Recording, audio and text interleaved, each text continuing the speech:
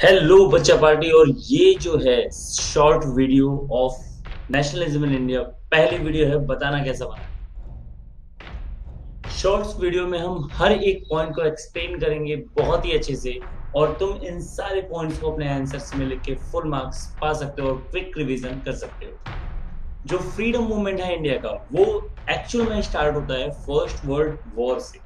1914 से 1918 तक चला ये वर्ल्ड वॉर ही रीजन है, एक ट्रिगर करने का कि इंडियंस अब सोचने लगे थे, उन्हें भैया चाहिए फ्रीडम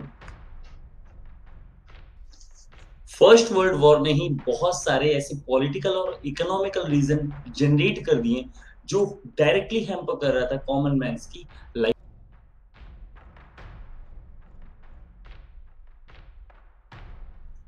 गवर्नमेंट में बहुत सारे टैक्सेस इंड्यूस किए और कस्टम ड्यूटीज़ को भी बढ़ा दिया।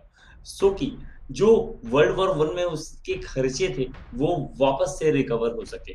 और 1913 से 1918 तक का टाइम कॉमन मैन के लिए बहुत ही ज़्यादा दर्दनाक साबित होने लगा। क्योंकि अब वो उनकी इनकम भी कम हो गई थी और उन्हें टैक्सेस ज़्यादा पे करने पड़ रहे थे। कहते हैं ना, जब बुरा वक्त आता है तो सारी चीज़ें बुरी लगने लगती है।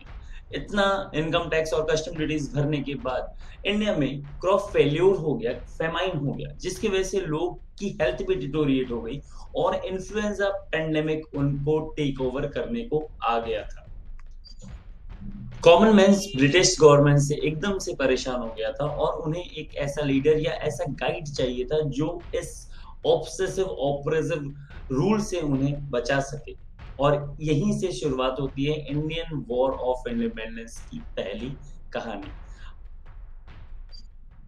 अगर आपको इस वीडियो से वैल्यू मिलती है तो अपने दोस्तों में शेयर करें और उन्हें बताएँ कि रिवीजन कहाँ से करना है। और अगर आप चैनल पर नए हैं तो लाइक और शेयर का बटन दबाएँ। सब्सक्राइब भी करना है। बाय